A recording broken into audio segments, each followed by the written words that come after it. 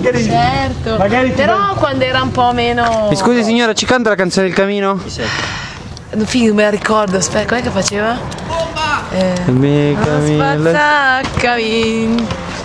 Eh, na- Boh, me la ricordo.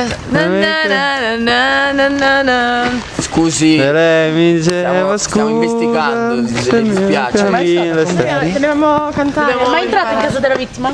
No, io lavoro a casa. Patrick. Con Gary è mai stata? No, ascolta, io mi scelgo i clienti. E allora non hai l'IDS. E allora non hai l'IDS. Meno male. Usa protezioni. Ma cosa te ne frega? Prende la farmacia di Melegnano? casa mia, te lo dico. Ne prende, c'è la farmacia a Rodengo? No. Eh, allora no.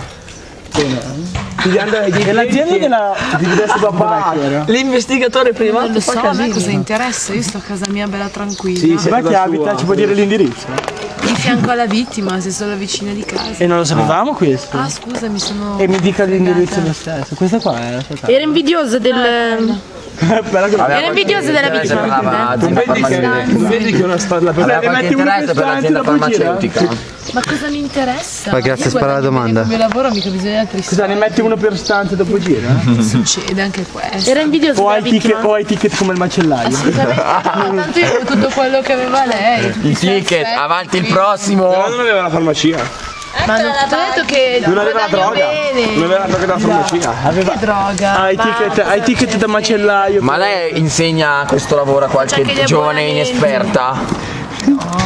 L'arte. Imparerà a te mettila da O ce parte. l'ha o ce l'ha. Scusate, ma se avete altre domande io me ne divertente. andrei